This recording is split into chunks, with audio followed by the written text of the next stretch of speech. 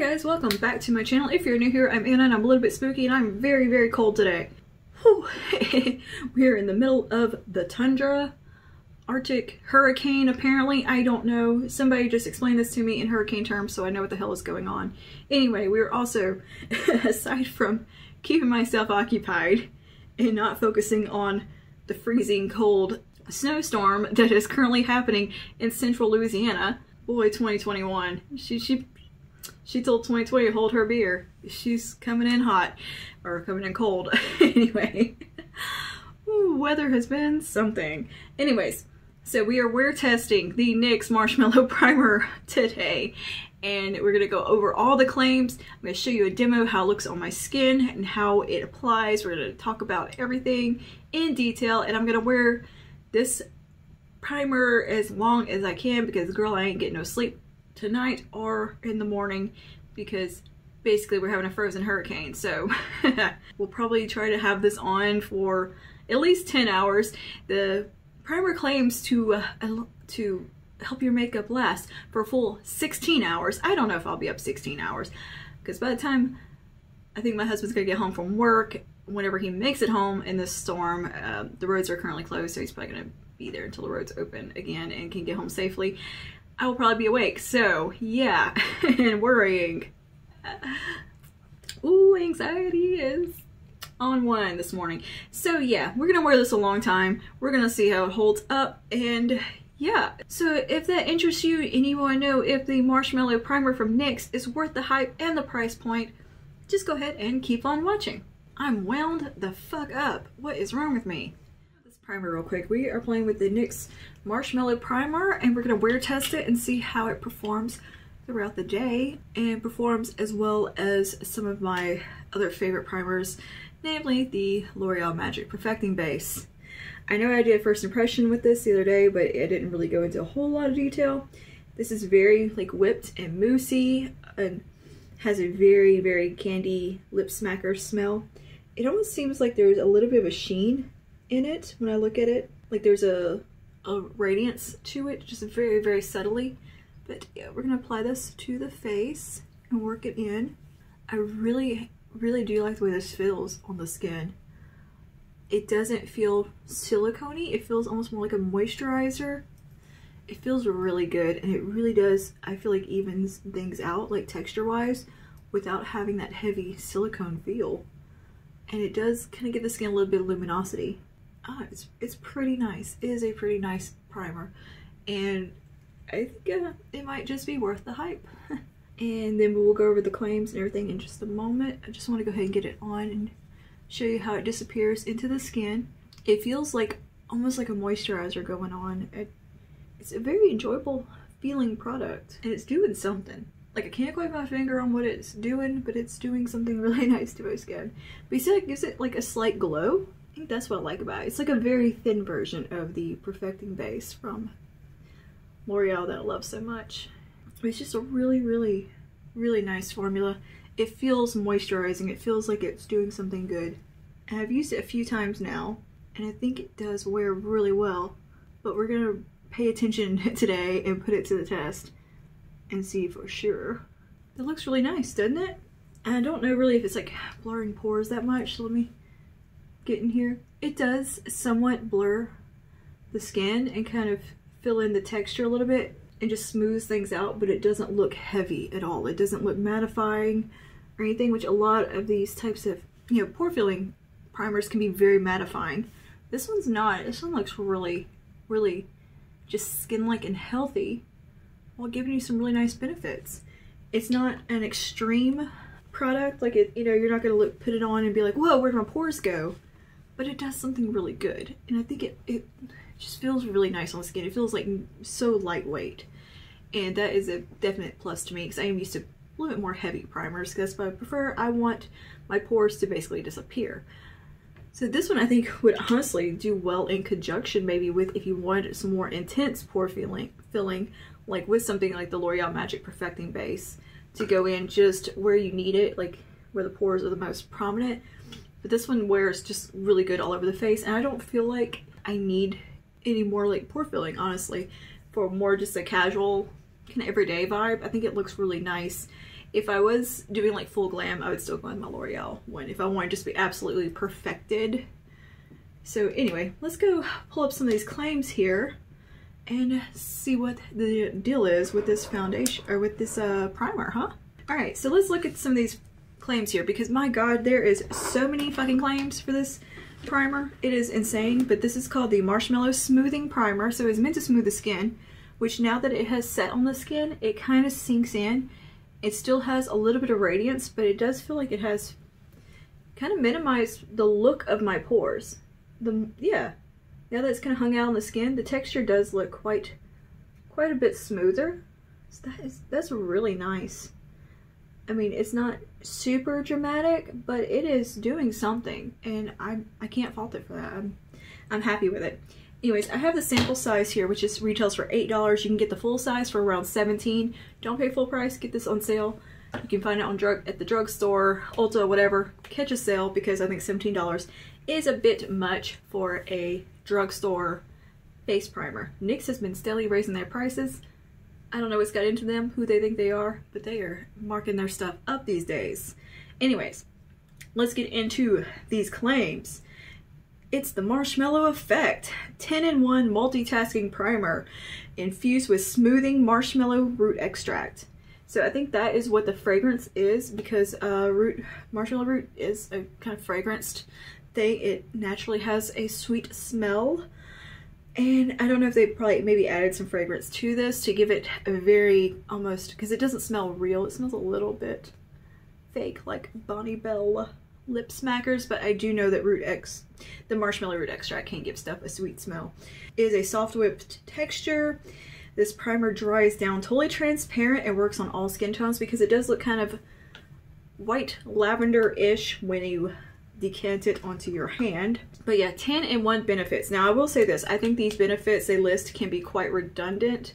Like they basically mean the same thing, they've just found different ways to phrase it. But that's marketing. That is, that's, that's how marketing works. Okay, so 10 in 1 benefits. This primer smooths, softens, and extends makeup wear for 16 hours. I don't know if we're to get 16 hours in today, but we're to try to get at least 10.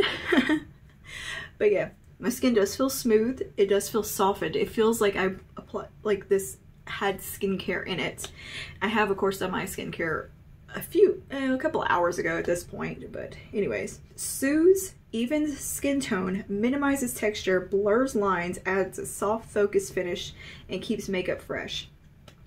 So to me, uh, it being the 16 hours and keeping makeup fresh kind of basically means the same thing blurring lines, adding the soft focus, minimizing texture, that all just kind of falls under smoothing to me. So I think that can be a little bit redundant there, but it does kind of have a soft focus look. It's not the most soft focus look primer I've used because I'm comparing it to the L'Oreal Magic Perfecting Base, which basically erases texture from your skin. like it is Facetune in a jar. Like it's like using the smoothing tool on your face. Um, this one does do that, but to just a lesser extent, but still good. So if you found that like that one to be too heavy, because it is kind of heavy, this is a much nicer lightweight option. I do think it did kind of blur lines a little bit and minimize texture for sure. I don't know if it really evens out my skin tone because it doesn't really have any like color to it. And I have a lot of freckles and discoloration on my face. I have a lot of redness, so I don't really think it did much for that, and I wouldn't expect it to because that's what my foundation does. But yeah, there's a 100% vegan formula, which is great. No uh, silicones, also fantastic. That is not something you see every day in a primer. A lot of them are dimethicone based or silicone based, and those are the ones I tend to prefer because I want that pore filling. I want to look like um, a porcelain doll basically. Like my skin is made of porcelain. There's also some um, they did a little test with it. A consumer study we have 100% agree that the primer creates a smooth canvas for easy makeup application. I would say it did create a pretty smooth canvas. And i still like that there's a glow to my skin. I, I have to point that out that it doesn't look matte or dry.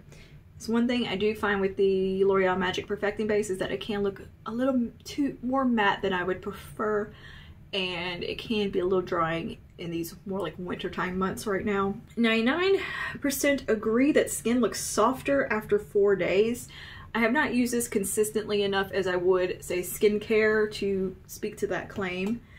And 98% agree their skin looks smoother after four days. So obviously I think the marshmallow root in here does have skincare benefits. I have heard that before and heard talk of this ingredient and I do think it does have long-term effects on the skin. So that's nice that this is skincare infused. I don't use it every single day though. There's I'm, I'm not putting makeup on every single day of my life. 99% or overall satisfaction over satisfaction. I, I think that's a typo there.